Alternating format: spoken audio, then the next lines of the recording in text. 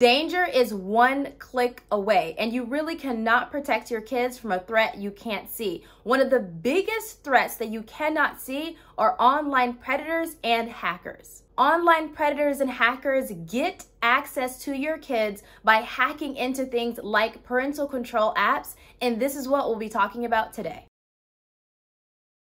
Hey, I'm Cyber Fareedah. I'm an award winning Forbes 30 Under 30 internet safety expert, and my entire channel is about empowering you with the knowledge and the tools to protect your kids in a digital age. Today, I'm going to give you three parental control apps that were found to be hacked and leaking information both about you and your kids online. And then there are 34 other parental control apps that were found to not actually be taking your kids' safety and security seriously. And this lack of security and privacy is easily giving predators and hackers access to your kids. This is an important video, so please be sure to stick around to the end because I do not want you to miss some crucial information about protecting your kids online. This can be the difference between your kids becoming a victim of a predator, of a kidnapper, of a hacker, or your kids being more protected and you having more peace of mind online. Teen Safe is a parental control app that was found to be exposing children's information online publicly.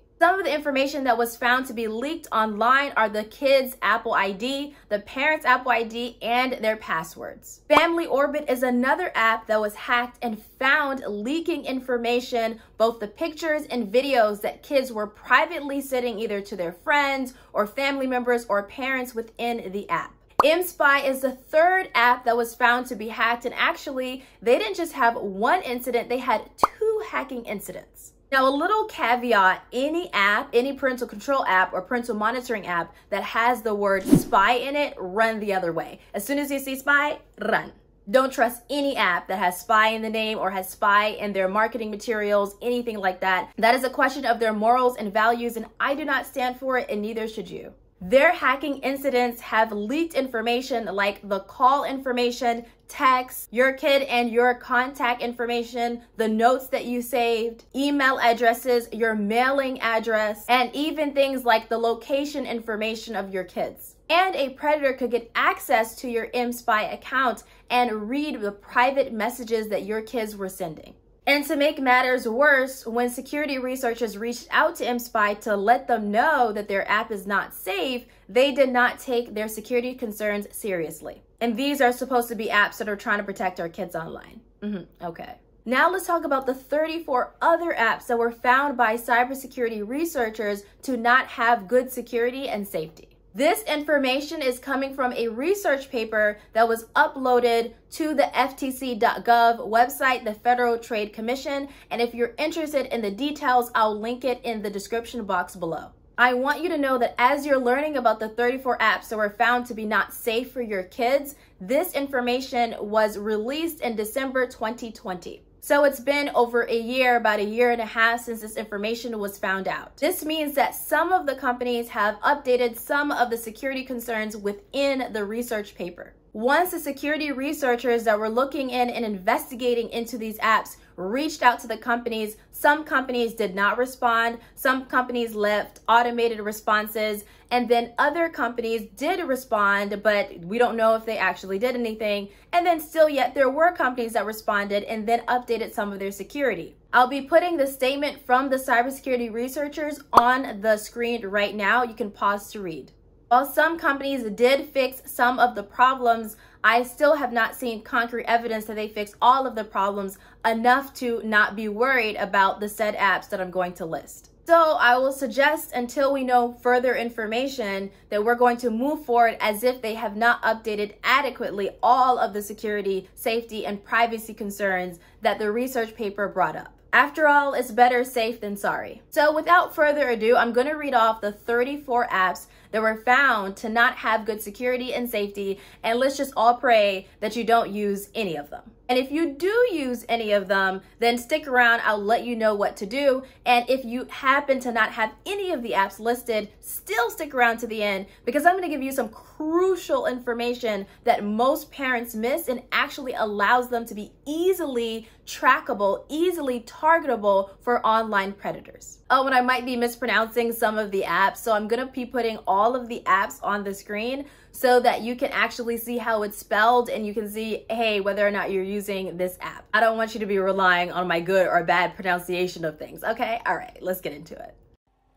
Find My Kids, Kid Control, Koala Safe, Block C, Secure Teen, Kid OZ, Life 360, Fammy Safe, Qustodio, Dr. Web, Home Halo, Fing Box, Roqos, MM Guardian, Kids Place, Kids Wi Fi, Family Time, Mobile Fence, Screen Time, Circle Home Plus, Porn Blocker, Meta Cert, Family Friendly, Kids Safe Web, Spy Rix, Kids Watch, Kid Logger, Crew Pyra, Unglue Kids, Limit Lee,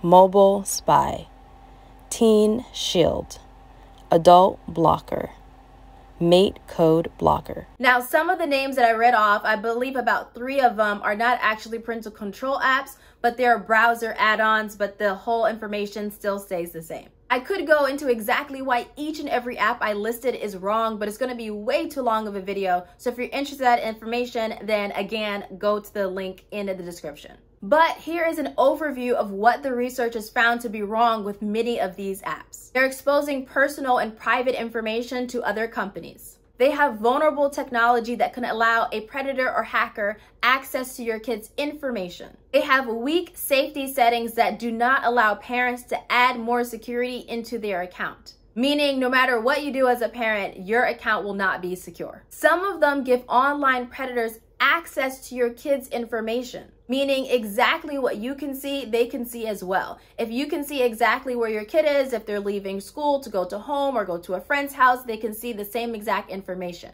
You can see your kids' private messages, the videos they send, the pictures they send, everything. Some of them are selling your kids' information to other companies for profit. They may allow a predator access to your kids' browsing history. Information like your email, your mailing address, your passwords can be exposed to those predators.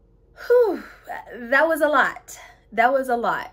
So let's talk about what you can do to protect your kids and give yourself some peace of mind because you deserve just that. I don't want you to walk away with so much anxiety and guilt and fear. If you have any of the apps we mentioned, the first thing you can do is delete the app. Now, that will not protect you from a predator accessing the information that's now publicly available to them especially in the case of the first three apps. The other apps, we don't know exactly what has been leaked to the public. We do know that they have the ability to get this information if the companies did not update their settings and their technology. So let's get into what you can do no matter what. I suggest you get identity theft monitoring. Identity Force has some great family plans that you can look at.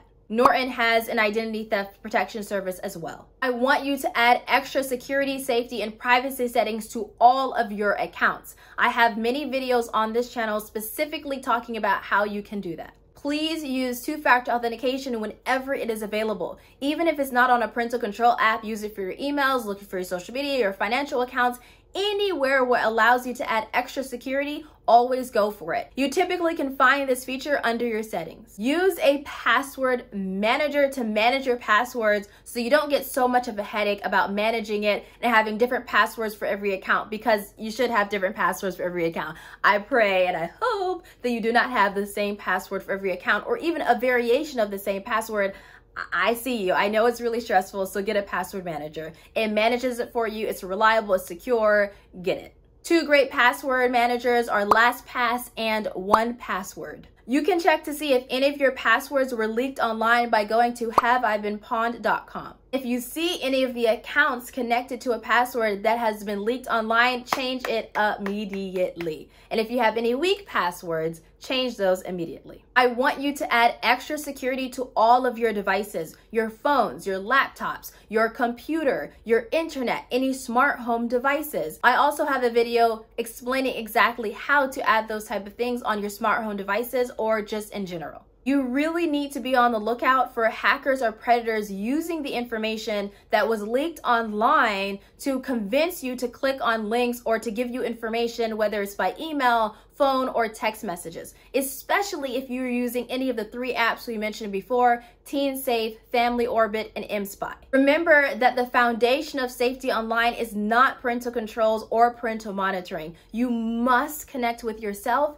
and your kids and build a strong parent child relationship to protect your kids online. It is always connections over controls. Never ever use parental monitoring as a foundation of online safety. Of course, I have a video on that point as well, so make sure you're subscribed. If you choose to use parental controls, especially if you have younger kids, teens are a different story, but especially if you have a situation where you want to make sure that you're providing the environment that's safer for your kids, then use native parental controls. Meaning, if you have an Apple device, use their parental controls. If you're using Google, Family Link. If you're thinking about Instagram or Roblox or Minecraft, use the parental controls available to you in the account settings. Many apps, websites, and devices have parental controls for you within their services. Or you can use something like the Norton parental control services, and that is a really great option as well. I know we talked about a lot today. It can lead to a lot of anxiety, fear, guilt, or any other negative emotions. And I would hate for you to walk away today feeling overwhelmed by all the safety steps that you have to implement.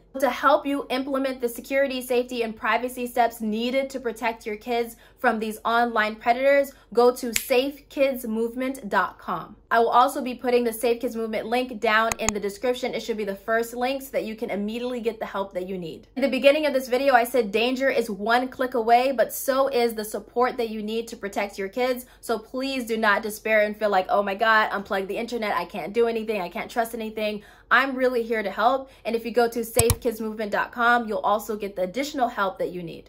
Once you join safekidsmovement.com, you'll be able to get all the access and step by step that you need to protect your devices and your internet and your smart home. And also, you get access to me monthly so that I can talk to you about any questions you have or any steps that you need me to go over with you. If you got value out of this video, please pop that like button so that more parents are aware and able to protect their kids online. If you're thinking of installing a parental monitoring app or you have a parental monitoring app currently, as we talked about today, there are so many things that you need to understand and know and implement before you put a parental monitoring app. And if you already installed it, there are things that I need you to know right now. And I made an entire video to brief you on exactly what you need to know to protect your kids if you're using parental control apps. See you in the next video.